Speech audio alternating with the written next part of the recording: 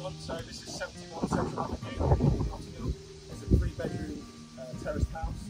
I'll just take you through now. We've just picked up the keys this afternoon.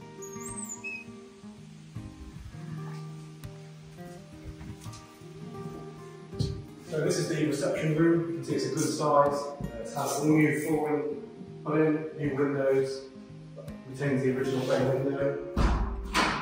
Would have been a fireplace here that's been locked up, but a good size living space. New doors throughout. Again, second reception room. Again, good size with a window.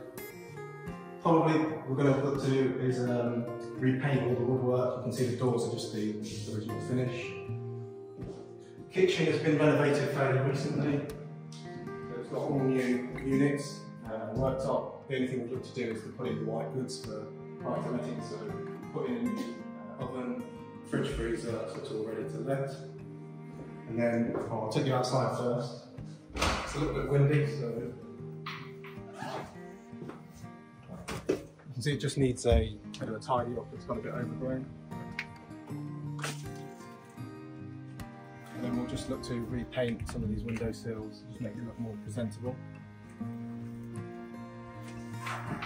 Close the door. Right, just take you upstairs.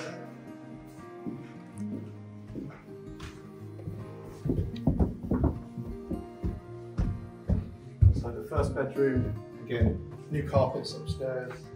All the walls have been repainted uh, and replastered. New UPVC windows. Hopefully here it's quite quiet, even though it's right on the road.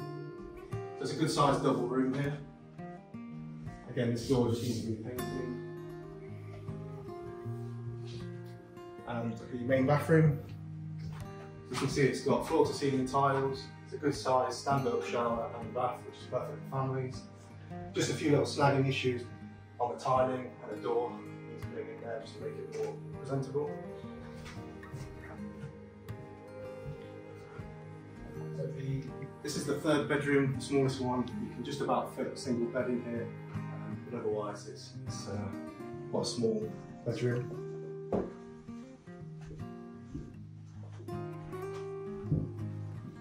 Third bedroom, so you get a double bed in here, it's at the back of the house. Again, windows are all new, it's been uh, replastered and repainted, just a few touch-ups required, things like cracks in corners, all sorted out before letting. So the numbers on this property, this was purchased for £169,000 and we'd look to achieve between £950 and £1,000 per calendar month.